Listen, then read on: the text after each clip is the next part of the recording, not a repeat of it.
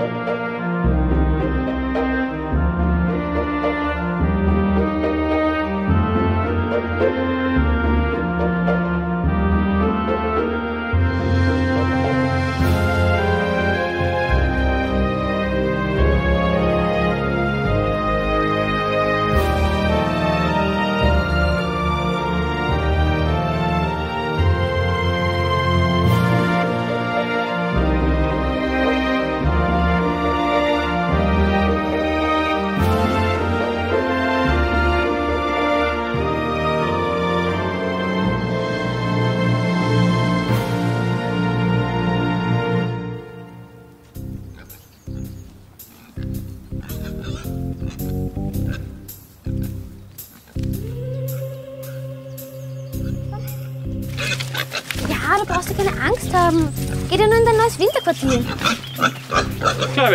Marilyn. Es geht ums Welcher.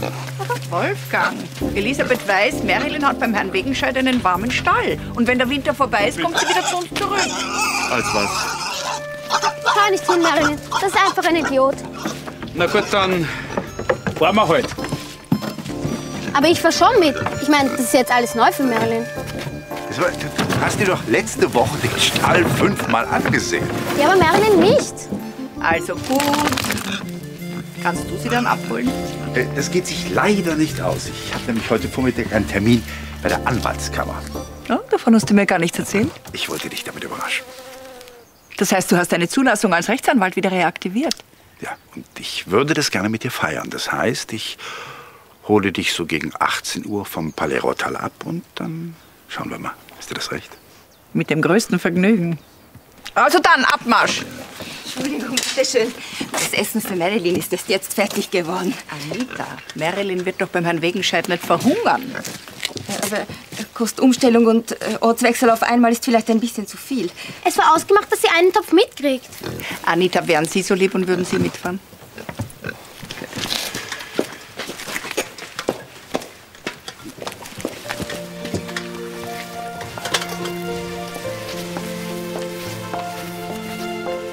Karl? Entschuldige, dass es so spät geworden ist, aber ich musste noch so viel erledigen. Mach dir keine Gedanken, auf wichtige Frauen wartet man gerne. Ja, der Friedhof ist voller Leute, die sich für wichtig hielten. Mag sein, aber du musst trotzdem nur zu einer Routineuntersuchung. Hypochondrie ist doch eher Männersache. Ja, trotzdem, auch Frauen begeben sich nicht gerade mit Euphorie ins Krankenhaus. Danke, dass du mich bringst. Das ist wirklich nett von dir.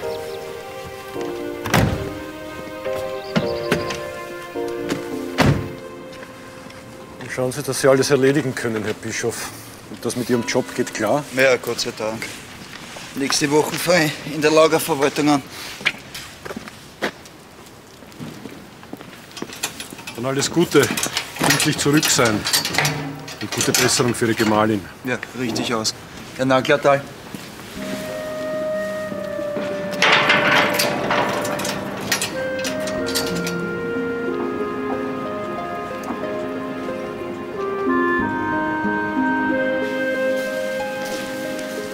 Gesagt, Frau Heidinger, dass es mit dem Einzelzimmer nicht mehr geklappt hat, das tut uns sehr leid. Ach, das stört mich überhaupt nicht, Frau Doktor. Grüß Gott, Frau Bischof. Das ist die Frau Reidinger und die wird die nächsten zwei Tage Ihnen jetzt Gesellschaft leisten. Meine Reidinger, grüß Gott. Birgit Bischof. Ich hole Sie dann in zehn Minuten zum Belastungs-EKG, ja? Alles klar. Ich hätte noch eine Frage, Frau Doktor. Wieso muss ich von dem B23 jetzt zwei Tabletten nehmen? Das hat die Frau Brammer-Klinger so verordnet. Aber am besten Sie fragen bei der nächsten Visite.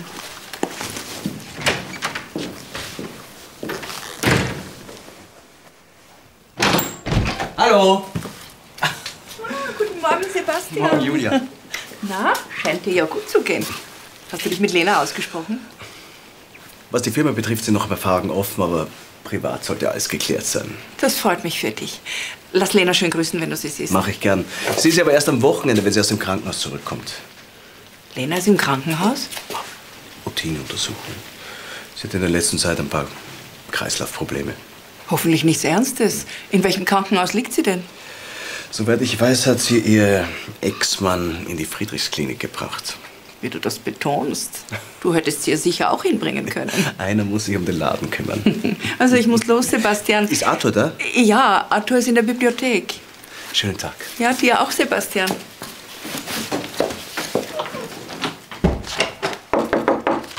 Ja, herein. Störe ich dich bei irgendetwas? Oh, Sebastian. Nein, nein, noch bin ich ja Pensionär, wie gesagt. Noch. Du betonst das noch? Ich werde doch wieder als Anwalt arbeiten. Ah, doch noch zu jung fürs Pensionistendasein. Gratulation. Danke. Ja, komm doch rein.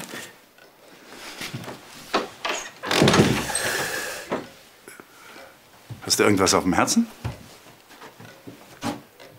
Ich wollte mich von dir verabschieden. Verabschieden? Wie soll ich das verstehen? Ich gehe weg. Mir wächst ja wieder mal alles über den Kopf. Was heißt wieder mal? Die Firma ist bei Lena in besten Händen. Ich, ich brauche ein bisschen Abstand. Ich muss mir über meine, meine Gefühle ihr gegenüber klar werden. Außerdem habe ich keine Lust zuzusehen, wie sich zwischen ihr und ihrem Ex-Mann wieder etwas anbahnt. Ja, das kann ich verstehen. Ich habe einen Brief geschrieben. Sie wird ihn finden, wenn sie nach Hause kommt. Ja, ja. Du musst es wissen. Pass auf dich auf.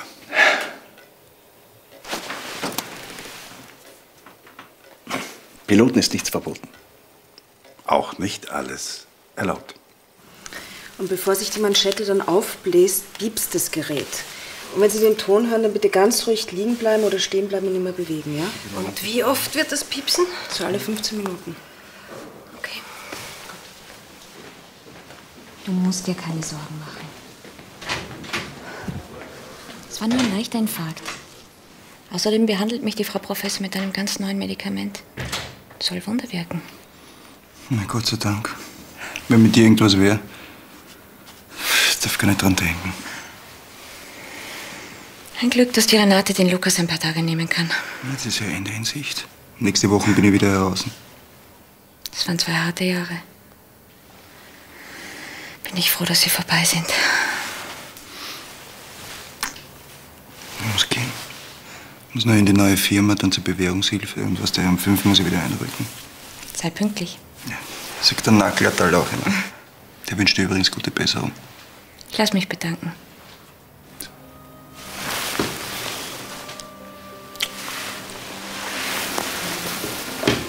Wiederschauen.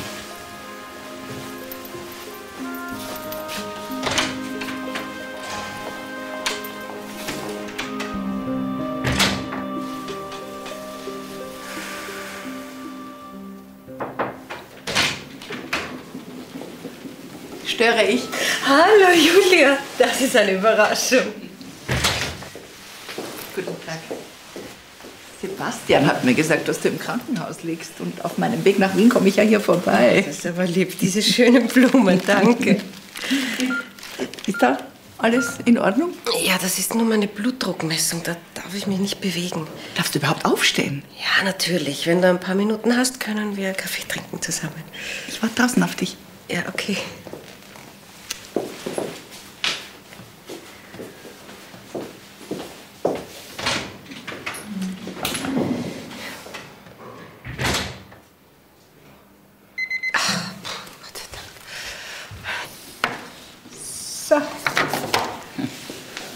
Wirst du in der Klinik bleiben, Lena? Also ich hoffe, dass ich spätestens morgen Abend wieder nach Hause kann. Länger kann ich mir auch gar nicht leisten, wegzubleiben. Also, Lena, die Welt dreht sich weiter. Auch wenn man ein paar Tage Auszeit nimmt. Schon, aber zuweilen in die falsche Richtung. Für die Stadt muss das ordentliche Budget des nächsten Jahres festgesetzt werden. Und in der Firma gibt es augenblicklich sehr viel zu tun. Und das scheint doch Sebastian zu tun. Sicher, er engagiert sich sehr. Aber trotzdem gibt es gewisse Spannungen zwischen uns. Ich meine nicht das Private. Ich spreche von den Firmenanteilen. Ich halte ja 60 Prozent und Martins Söhne jeweils 20. So hat er das in seinem Testament verfügt. Sebastian hat das damals sehr getroffen und deshalb wollte ich ihm eigentlich zu einem gegebenen Zeitpunkt den Großteil meiner Anteile übertragen. Aber ich bin mir jetzt nicht ganz sicher, ob das das Richtige ist. Du traust Sebastian nicht zu, die Firma zu führen. Doch, ich traue ihm das schon zu. Allerdings nur so lange, als er einen kühlen Kopf bewahrt. Ich glaube, ich werde noch ein bisschen zuwarten. Du, das scheint mir das Vernünftigste zu sein. Ja, bleib ruhig sitzen. Ich muss jetzt weiter, Lena. Und alles Gute für deine Untersuchungen, gell? Danke, Julia.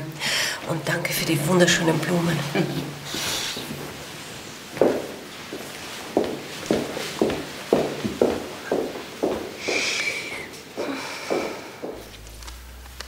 Lieber Dr. Laubach, wir alle freuen uns sehr, dass du deine Frühpension beendet hast und wieder aktiv in unseren Stand zurückgekehrt bist. Im Namen unserer Kammer darf ich dir recht viel Erfolg für deine zweite Karriere wünschen. Danke für deine lieben Worte, Herr Präsident. Ob es eine zweite Karriere wird, weiß ich nicht, aber ich werde daran arbeiten. Oh, davon bin ich überzeugt, Arthur. Lass uns darauf anstoßen. Danke. Willkommen zurück an Bord.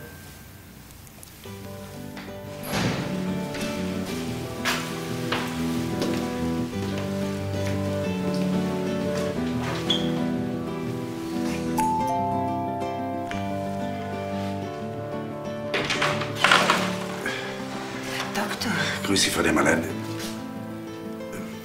Blendend sehen Sie aus, wenn ich das so sagen darf. Was verschafft mir die Ehre? Ja, ich habe meine Zulassung als Anwalt wieder aktiviert. Büro habe ich noch keins, weiß auch nicht, wann es losgeht, aber ich wollte Sie fragen, ob Sie vielleicht wieder mitmachen würden. Mit dem allergrößten Vergnügen.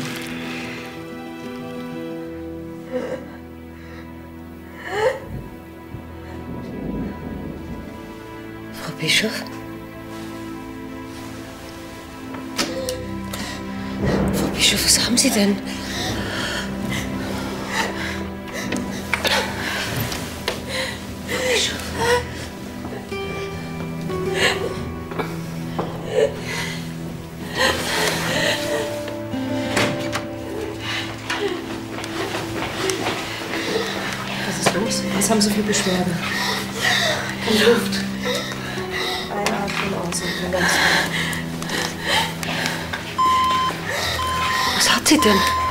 Leise Griff, schlafen Sie einfach ruhig weiter.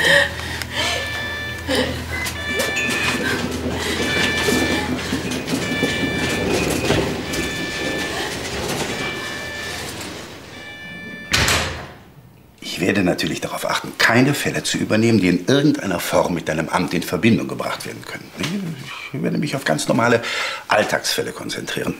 Niemand soll uns was nachsagen können. Das ist gut und auch richtig so, Arthur. Andererseits kann es nicht angehen, dass der Ehemann einer Volksanwältin sowas wie Berufsverbot hat.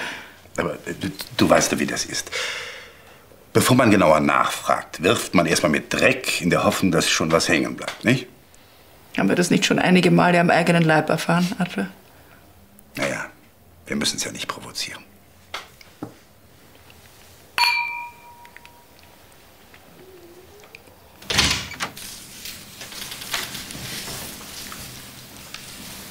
Grüß Gott. Sagen Sie, wissen Sie, wo meine Frau hin ist?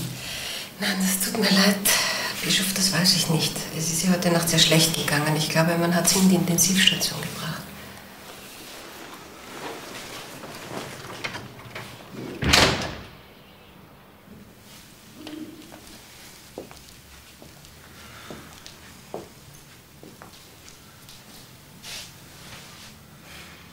Wir haben getan, was wir konnten. Leider ohne Erfolg. Es war zwar ursprünglich nur ein leichter Infarkt, aber der zweite Infarkt letzte Nacht führte sofort zum Tod. Alle Reanimationsmaßnahmen waren bedauerlicherweise erfolglos. Die Bettnachbarin von meiner Frau, die hat doch gesagt, dass sie in der Nacht schlecht worden ist. Da hat sie sich getäuscht. Frau Bischof ist an einem plötzlichen Herztod gestorben. Es tut mir sehr leid. Und wo ist sie jetzt? Ich meine, kann man nicht zu ihr? Das ist jetzt leider nicht möglich. Der Leichnam ihrer Frau ist noch in der Pathologie.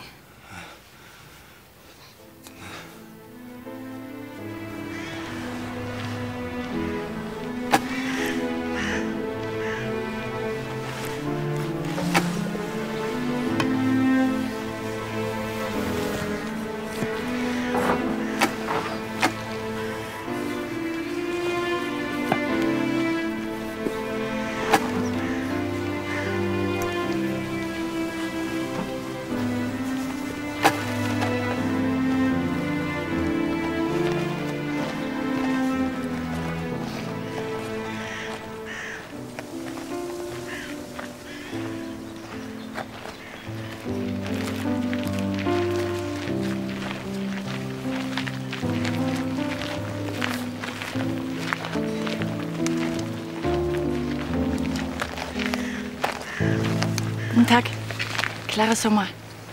Ich bin von der Fürsorge. Herr Bischof? Ja. Ich habe Sie zu Hause nicht angetroffen, deswegen bin ich hierher gekommen.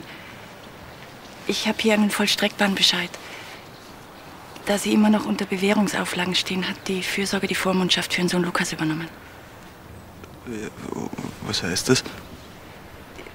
Er kommt vorübergehend in ein Kinderheim.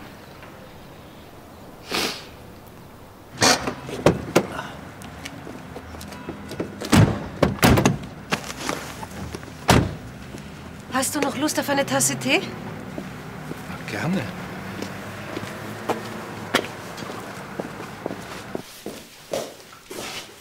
Sebastian? Eigenartig. Als wir heute Morgen telefonierten, sagte er, er wäre zu Hause, wenn ich aus dem Krankenhaus komme. Er wird wohl irgendetwas zu erledigen haben. Ich mache uns mal Tee. Das ist seine Handschrift.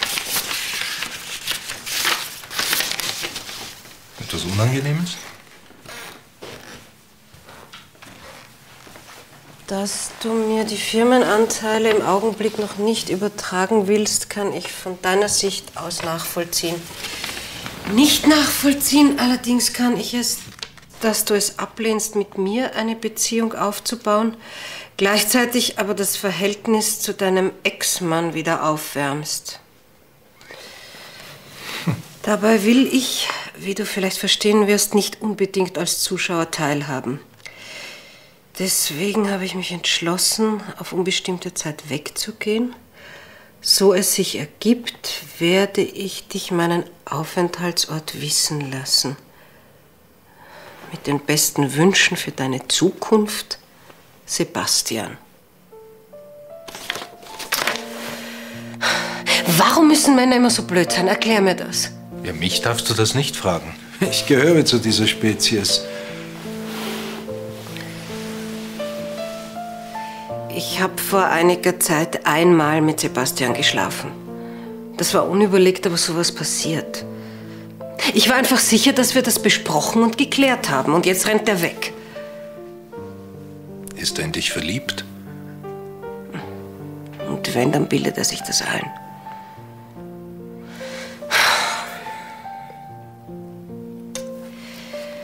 Also gut. Ich habe meine Tochter zu versorgen. Ich bin Bürgermeisterin einer gar nicht so kleinen Stadt. Und da ist noch unsere Firma, an der etliche Arbeitsplätze hängen. Wenn man mir nicht dabei helfen will, dann schaffe ich das auch allein. Zumindest mit der Tochter kann ich helfen. Die wird in einer Viertelstunde vom Turnverein nach Hause kommen und sehr hungrig sein. Ich könnte ihr irgendetwas zubereiten. Sie mag doch Spiegeleier. Du weißt ja, wo hier die Küche ist.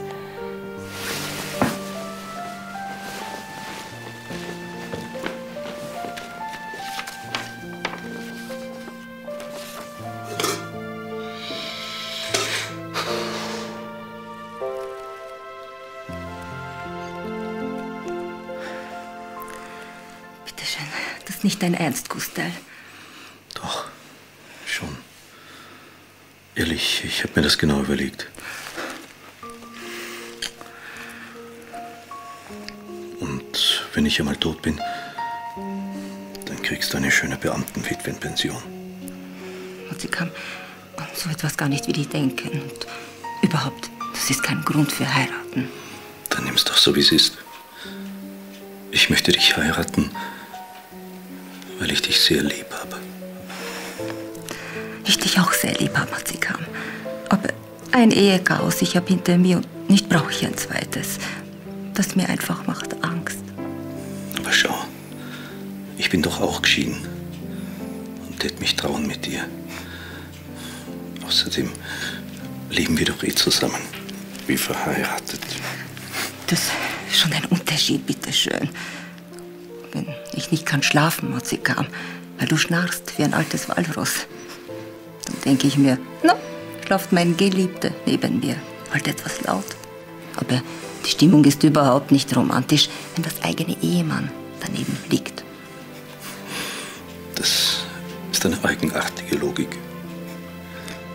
Schau, Mazikam, ich Ich habe Angst, dass mit des Trauschein verloren geht, das Toleranz. Das ist wie ein Besitzurkunde, gibt das Freibrief, wie man Eigentum behandelt. Aber ich würde dich als Ehemann nicht anders behandeln als jetzt. Du doch auch nicht, oder? Wie viele Jahre warst du verheiratet, Mozika? Wie 20. Hat auch begonnen mit Liebe und dann war kaputt alles. Darum ich sage, ewig prüfe, was sich bindet. Also, ein Tag abgelehnt.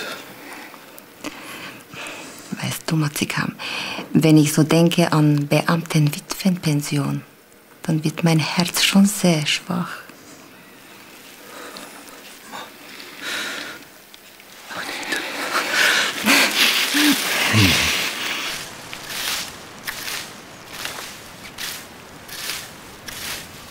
Entschuldigen Sie, Ja, bitte? ist das der Jenbacher Hof? Ja? Weil ich suche nämlich den Herrn Dr. Laubach. Herr Doktor ist in Haus, aber er wird bald nach Wien fahren. Wissen Sie, das wäre sehr dringend. Glauben Sie, könnte ich kurz mit ihm sprechen? Ich werde schauen. Kommen Sie bitte.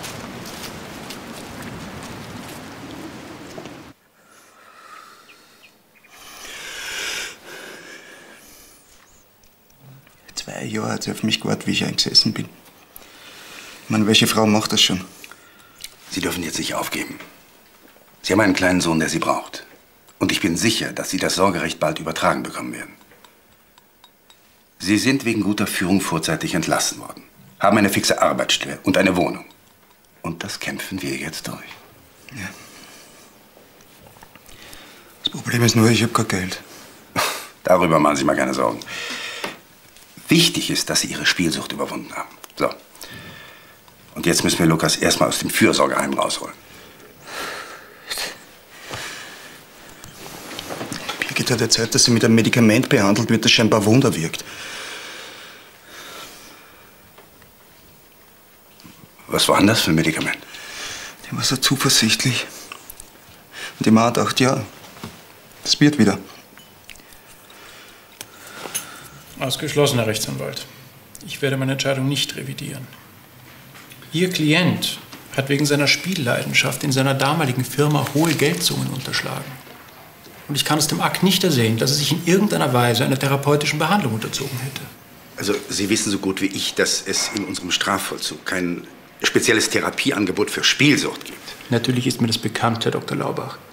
Deswegen ist es auch anzuraten, dass sich der Bischof, jetzt wo er sich in Freiheit befindet, einer speziellen Therapie unterzieht.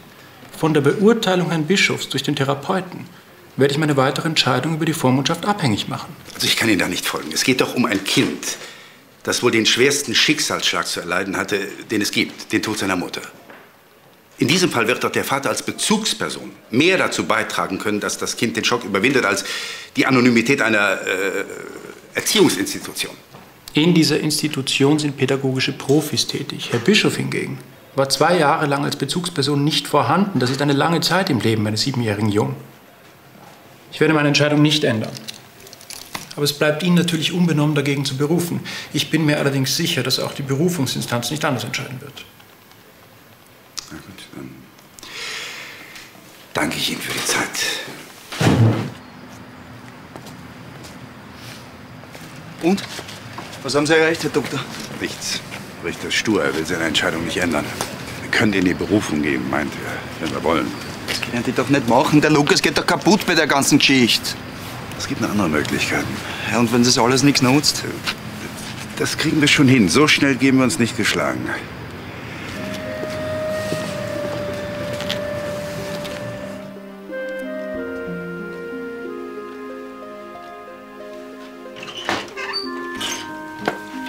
Du bist ja noch so fleißig.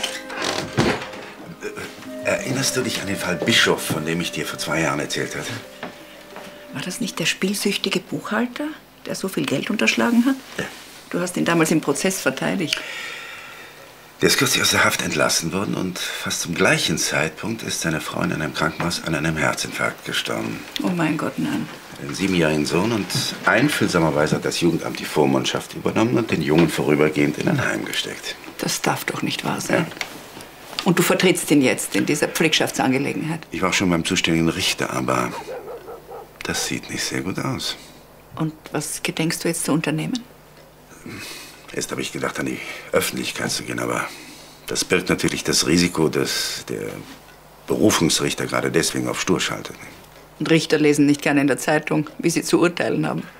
Verständlicherweise. Aber mir ist es gelungen, kurzfristig einen Termin beim Justizminister zu bekommen. Kennst du ihn? Ich hatte erst kürzlich mit ihm eine Begegnung. Dr. Reisinger war Anwalt. Äh, Wir sind uns zwar nie über den Weg gelaufen. Und warum studierst du jetzt die Medikamentenzulassungsliste? Das war eine spontane Idee. Weißt du, Bischof hat mir erzählt, seine Frau wäre mit einem neuartigen Medikament behandelt worden. Aber da ist so viel Neues auf dem Markt, dass es für einen medizinischen Laien undurchschaubar ist. Vielleicht hat er sich auch verhört oder was falsch verstanden, was weiß ich. Na gut. Also dann, lass uns schlafen gehen. Ja, gute Idee.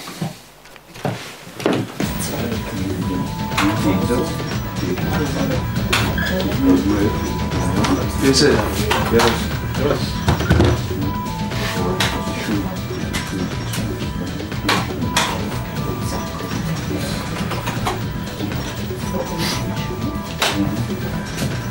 Servus, Frau. Das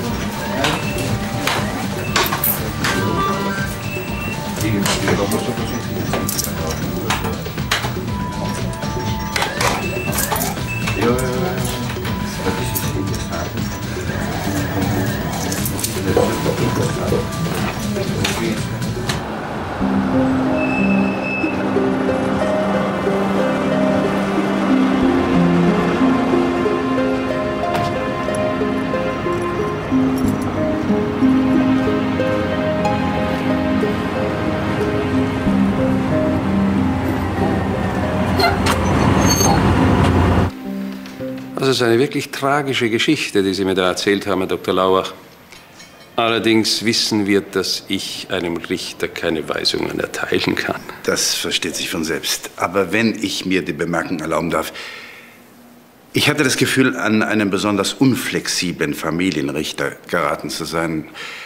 Man kennt diesen Typ Mensch. Penibler Paragraphenreiter, ständig in Angst, einen Fehler zu begehen.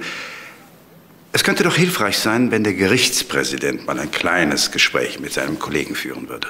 Das kann ich dem Präsidenten gerne vorschlagen. Da wäre ich Ihnen sehr verbunden, Herr Minister. Ich bin überzeugt, dass eine Revision der Entscheidung sehr im Sinne des Kindes ist. Zumal seine Mutter so überraschend gestorben ist. Woran ist denn die Mutter so plötzlich verstorben? An einem Herzinfarkt in der Friedrichsklinik. Auf jeden Fall danke ich Ihnen für Ihre Zeit und äh, für Ihr Verständnis für diesen Fall. Keine Ursache, wenn ich irgendwo helfen kann. Vielen Dank.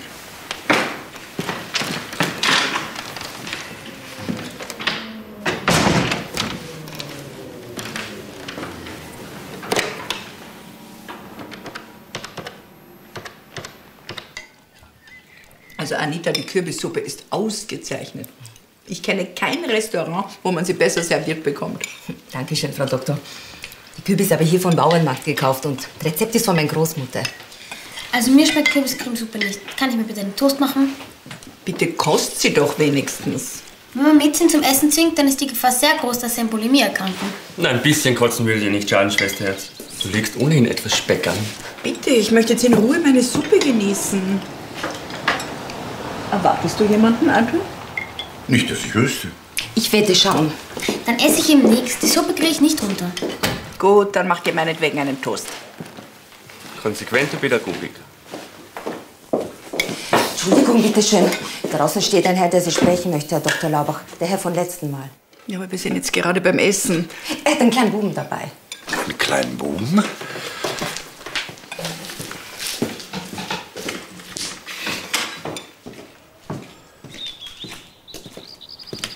Bischof, das ist aber eine Überraschung. Habe ich nicht gesagt, dass wir das durchkämpfen werden? Vor einer Stunde haben Sie meinen Lukas vorbeigebracht. Da wollte ich gleich kommen und mich persönlich bei Ihnen bedanken. Schau, das ist der Herr Dr. Laubach, der uns so viel geholfen hat. Komm, sag schon guten Tag. Guten Tag. Sag Lukas. Na, da kommen Sie doch rein. So ein Teller Suppe wäre doch nicht schlecht, oder? Bitte sehr.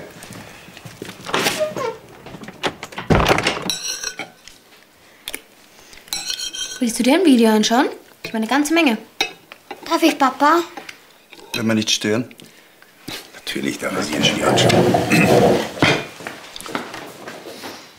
Ehrlich gesagt überrascht es mich selber, wie schnell unsere Angelegenheit eine Wendung zum Guten genommen hat. Normalerweise malen die Mühlen langsamer. Das kann man mit Fug und Recht behaupten. Ja, ich hab sogar meinen Führerschein jetzt wieder. Obwohl ich gar nicht drum angesucht habe. Dann hat ja dein Ministerbesuch eine außerordentlich schnelle Wirkung gezeigt. Spricht doch sehr für den Mann, nicht? Wir sind halt jetzt allein, der Lukas und ich. Ja. Ich verstehe das immer noch nicht.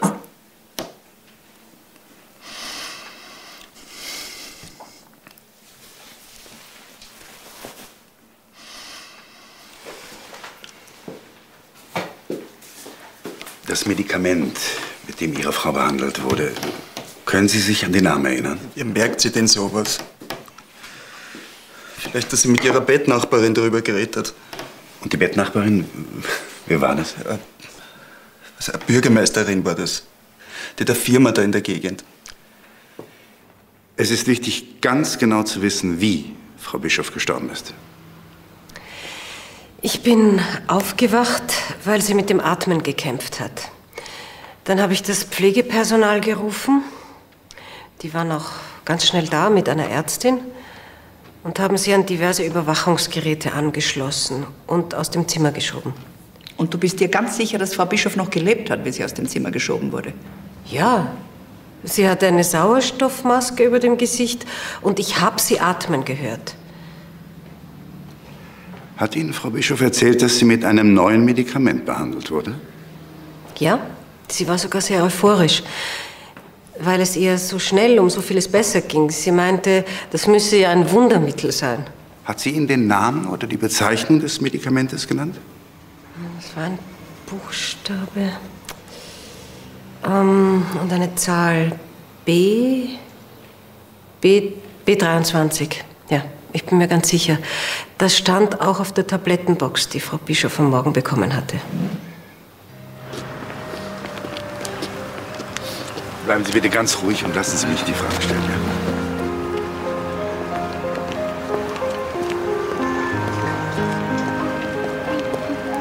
Es war einer von jenen bedauerlichen Fällen, wo das Geschehen nicht mehr beherrschbar war. Frau Bischof hatte sich nach ihrem ersten Infarkt sehr gut erholt und auch auf die Medikamentierung gut angesprochen. Der zweite Infarkt war leider nicht vorhersehbar und sofort tödlich. Und Sie haben Reanimationsmaßnahmen angewendet, nicht? Selbstverständlich sofort, als die diensthabende Ärztin verständigt wurde. Leider, es war vergeblich. Könnte es sein, dass Frau Bischof mit einem neuartigen Medikament behandelt wurde? Sie hat derartiges einer Bettnachbarin gegenüber geäußert. Das muss die Dame falsch verstanden haben. Frau Bischof hat nur die üblichen Beta-Blocker bekommen. Leider haben in so einem Fall auch psychosoziale Faktoren einen negativen Einfluss auf das Herz-Kreislauf-System. Frau Bischof schien in gewissem Sinne depressiv. Und wir wissen, dass depressive Myokardinfarktpatientinnen eine signifikant erhöhte Mortalität innerhalb der nächsten Monate Was aufweisen. heißt da depressiv? Also meine Frau war sicherlich nie depressiv. Sie würden mir dennoch die Krankengeschichte aushändigen. Selbstverständlich, ich werde das gleich veranlassen. Ist Ihnen ein Medikament bekannt, das unter B23 geführt wird? Nein, Buchstaben und Zahlen bezeichnen Medikamentreihen in der Entwicklung. Hier bei uns in der Klinik hat alles einen Namen. Ich weiß, Arthur, dass dein Gefühl dich noch selten getäuscht hat. Trotzdem, wir haben keinerlei Ansatzpunkt. Im Moment nicht, aber ich werde schon dahinter kommen. Lenas Wahrnehmung wird kaum für eine polizeiliche Untersuchung reichen. Ich fürchte, uns sind da die Hände gebunden. Abwarten. Bis später.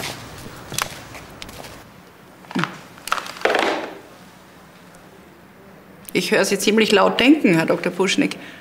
Die Sache ist die, etliche Medikamentenentwicklungen von Pharmafirmen werden mit Fördermitteln betrieben. In der Regel sind das so Medikamente, die auf einen eher kleinen Patientenkreis abzielen, wo die Entwicklung den Firmen mehr kostet, als sie ihnen bringt. Mhm. Worauf wollen Sie hinaus, Herr Dr. Puschnik? Wir könnten in sämtliche Förderungsunterlagen der zuständigen Ministerien Einblick nehmen. Unter Umständen findet sich da ein Hinweis auf die Friedrichsklinik. Das könnten wir. Aber wir haben keinen Anlass für ein amtswägiges Prüfungsverfahren. Findet sich nicht immer ein Anlass?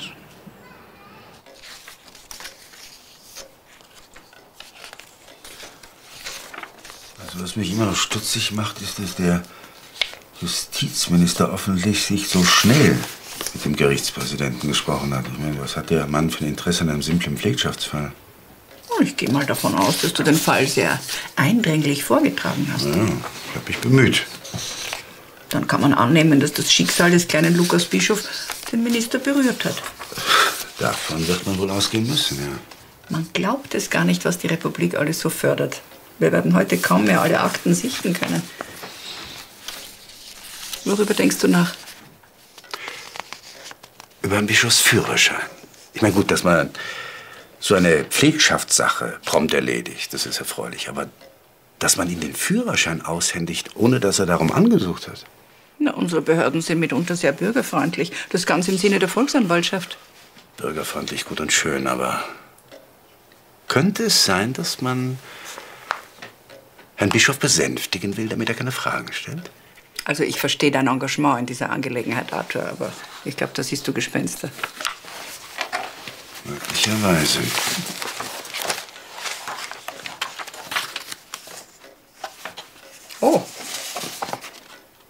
Ich habe hier einen Fördervertrag zwischen der Herder Chemie und dem Wirtschaftsministerium. Ja, und? Der Vertrag wurde vor vier Jahren abgeschlossen und vom Rechtsberater der Herder Chemie mit unterzeichnet. Sicher, das habe ich ja früher auch gemacht. Ja, ja, aber der Rechtsberater der Herder Chemie war zu jener Zeit die Anwaltskanzlei Dr. Stefan Reisinger. Unser heutiger Justizminister. So scheint es. Das könnte etwas bedeuten, muss es aber nicht. Trotzdem sollten wir der Sache auf den Grund gehen. Hast du einen Vorschlag?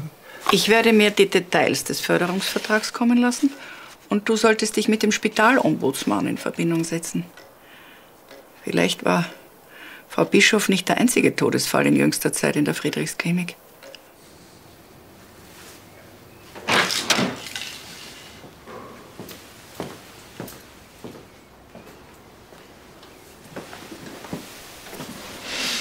Es gab tatsächlich einen ähnlich gelagerten Todesfall in der internen Abteilung wie den der Frau Bischof. Eine Frau etwa im gleichen Alter, die zuvor einen leichten Infarkt erlitten hat und zwei Tage darauf am plötzlichen Herztod starb.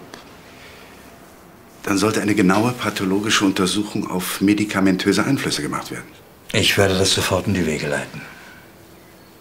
Vielen Dank. Es ist unglaublich, Frau Doktor. Das ist ein echter Hammer. Regine, solche Worte kenne ich sonst nur aus dem Sprachgebrauch meiner Enkeltochter. Aber weil es wahr ist. Wissen Sie, welche Medikamententwicklung das Wirtschaftsministerium bei der Herder Chemie fördert? Sie werden es mir gleich sagen. Eine Präparatreihe zur Hemmung der Blutgerinnung mit der internen Entwicklungsbezeichnung B21 bis B29. Regine, das ist in der Tat ein Hammer. Na, habe ich es nicht gesagt? Mit Lenas eidesstattlicher Erklärung, dass sie auf Frau Bischofs Medikamentenbox eindeutig ein Medikament mit der Bezeichnung B23 gesehen hat, ist eine Strafanzeige gegen die Klinik gerechtfertigt.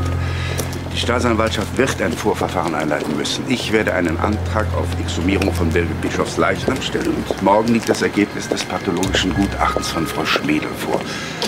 Und sollten sich da Parallelen ergeben, Da wird mit Sicherheit Anklage erhoben, aber so weit sind wir noch nicht. noch nicht.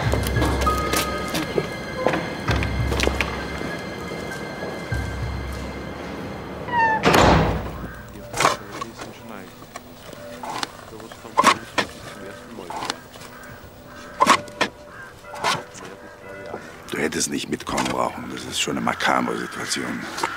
Und für dich doch ebenso. Ja, sicher. Darum bin ich mitgekommen.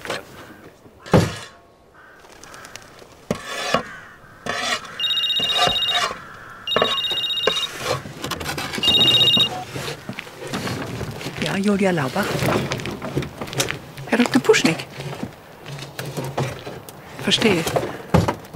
Und warum wollen Sie nicht am Telefon darüber sprechen? Ich wollte nicht am Telefon drüber sprechen, weil die Angelegenheit wirklich sehr heikel ist. In welcher Hinsicht? Ich habe mir rein aus privatem Interesse die Vermögenserklärungen angesehen, die die Mitglieder der gegenwärtigen Regierung beim Amtsantritt vor dem Parlament abzugeben hatten. Der jetzige Justizminister, Dr. Reisinger, hielt zu dem Zeitpunkt 25 Prozent Anteile an jener Firma, für die er als Rechtsberater tätig war. Der Herr der Chemie. Das ist richtig. Und wem hat er die Anteile übertragen? Seiner Schwägerin, einer gewissen Frau Professor Klinger, ihres Zeichens Primarärztin. An der internen Abteilung der Friedrichsklinik. Exakt. Sie verstehen, warum ich darüber nicht am Telefon reden wollte. Allerdings. Damit ist natürlich noch nichts bewiesen. Aber die Indizien lassen gravierende Schlüsse zu. Und da es sich um ein Regierungsmitglied handelt, werde ich wohl den Herrn Bundespräsidenten davon in Kenntnis zu setzen haben. Noch könnte es viel Lärm um nichts sein. Ja, viel Lärm wird es in jedem Fall geben, Arthur. Frau Doktor, Sie werden es nicht glauben. Hier haben wir schon das Ergebnis der pathologischen Untersuchung. Danke, Regine.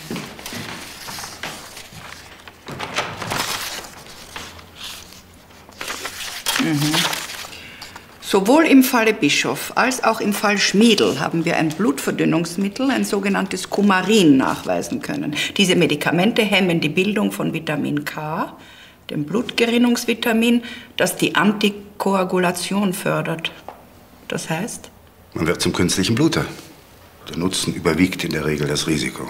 Die relativ hohe Konzentration dieses Medikaments im Blut könnte ein Indiz dafür sein, dass ein neuerlicher Herzinfarkt mit Blutungen im Herzmuskel den Herzstillstand bedingten. Und da die Verabreichung dieses Medikamentes in keinem der beiden Krankenblätter auftaucht, Ist der Rest wohl ein Fall für die Gerichte? sie hat gebeten, nicht die Kriminalpolizei mitzubringen. Nach dem Gespräch mit uns will sie Selbstanzeige erstatten. Aufgrund der Beweislage wird ihr auch nichts anderes übrig bleiben. Sie wird sich einem Verfahren wegen fahrlässiger Tötung in zwei Fällen zu stellen haben.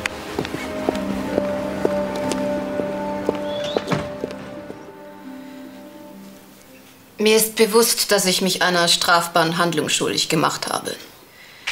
Und ich gebe zu, dass dahinter durchaus handfeste wirtschaftliche Interessen stehen. Nicht unbedingt für mich. Ich bin finanziell gut abgesichert. Aber an der Herde Chemie hängen über 200 Arbeitsplätze. Mit der Zulassung eines neuen verbesserten Gerinnungshemmers wären diese Arbeitsplätze auf Jahre hinaus gesichert gewesen. Das rechtfertigt aber in keinster Weise, dass man ein nicht ausgereiftes Medikament an Patienten ausprobiert. Wissen Sie, Frau Volksanwältin, ausgereift ist so ein Medikament nie. Letztlich erweist sich die endgültige Verträglichkeit immer erst am Patienten. Ihre Argumentation erinnert mich an eine Zeit, in der man ungestraft mit Menschen experimentieren konnte. Ich will mich jetzt nicht auf eine Diskussion darüber einlassen. Ich möchte mich nur dafür bedanken, dass Sie es mir sparen, in Handschellen aus meiner Klinik herausgebracht zu werden. Stefan, Guten Tag, Frau Volksanwältin. Herr Minister. Herr Dr. Laubach. Meine Schwägerin hat mich vom Stattfinden dieser Unterredung informiert. Ich wollte gerne das meinige zur Klärung beitragen. Dann bitte ich darum. Ich hatte keine Ahnung, dass meine Schwägerin an ihrer Klinik mit nicht zugelassenen Medikamenten unangemeldete Patientenversuche durchführt. Ich habe davon erst erfahren, als ich sie nach dem Gespräch mit Dr. Laubach angerufen habe. Mir ist klar, dass ich mich mit meinem Stillschweigen trotz Kenntnis einer kriminellen Handlung strafbar gemacht habe. Ich werde deswegen noch heute dem Herrn Bundespräsidenten meinen Rücktritt vom Amt des Justizministers erklären. Danach stelle ich mich selbstverständlich der Verfolgung durch die zuständigen Behörden. Dafür bedanke ich mich auch. Soviel ich weiß, haben Sie heute noch einen Termin beim Herrn Bundespräsidenten. Ja, das ist richtig. Dann will ich Sie nicht länger stören. Guten Tag. Herr Minister.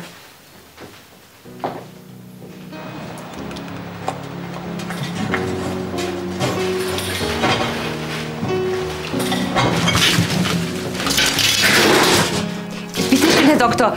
Kann ich Ihnen helfen? Äh, ja, also ich suche das alte Messingschild von unserer Kanzlei. Wo steht darauf Dr. Laubach und Dr. Laubach?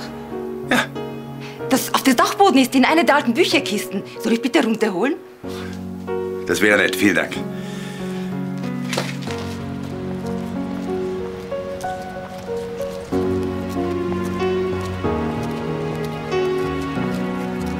Egon Bischof wird in einem Zivilprozess sicherlich eine große Summe als Schadensersatz zugesprochen bekommen. Wenigstens ein kleiner Trost. Ja, aber das Wichtigste ist doch das Gefühl, dass man der Wahrheit auf den Grund gegangen ist, ne? Die Sache wird gewaltig Staub aufwirbeln. Äh, eigentlich hatte ich mir meinen beruflichen Wiedereinstieg ein bisschen ruhiger vorgestellt. Ob du das auf die Dauer wohl alleine schaffen wirst? Das habe ich mir auch gedacht. Äh, Da wir beide ohnehin für das Pensionistendasein nicht geschaffen sind, hatte ich mir gedacht, äh, ob du nicht vielleicht am Ende deiner Amtsperiode in meine Kanzlei einsteigen könntest. Vorausgesetzt, du akzeptierst mich als Partner. Arthur, mein Gott. Wie lange ist das her, dass wir dieses Schild zum ersten Mal an eine Tür montiert haben? Der verehrte Herr Bundespräsident. Ja, den sollte ich besser nicht warten lassen.